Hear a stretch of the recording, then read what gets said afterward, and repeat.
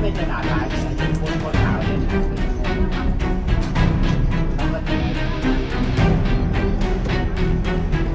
เย็นๆค่ะ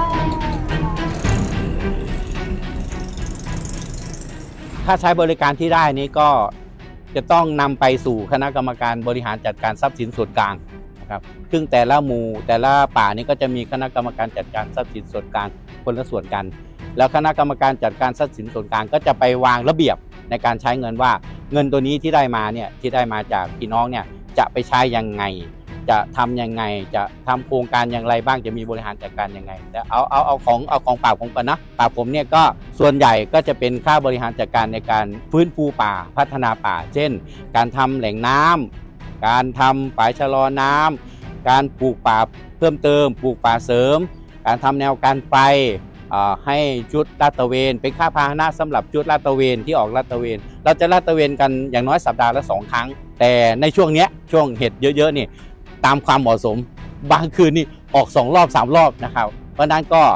ตรงนี้ก็จะคณะกรรมการพิจารณาให้ช่วยเหลือค่าพาหนะด้วย แล้วก็ในอีกส่วนหนึ่งถ้ามันเหลือนะครับถ้ามันเหลือใช้คำว่าถ้าเหลือก็จะไปนำไปสู่ชุมชนของเรา เราต้องการสร้างจิตสำนึกให้คนที่มาเนี่ย คนที่มาใช้บริการป่าเรา ให้เขากลับไปคิดว่า บ้านเขาก็มีป่า แล้วทำไมไม่บริหารจัดการเหมือนเช่นทางเราเนี่ย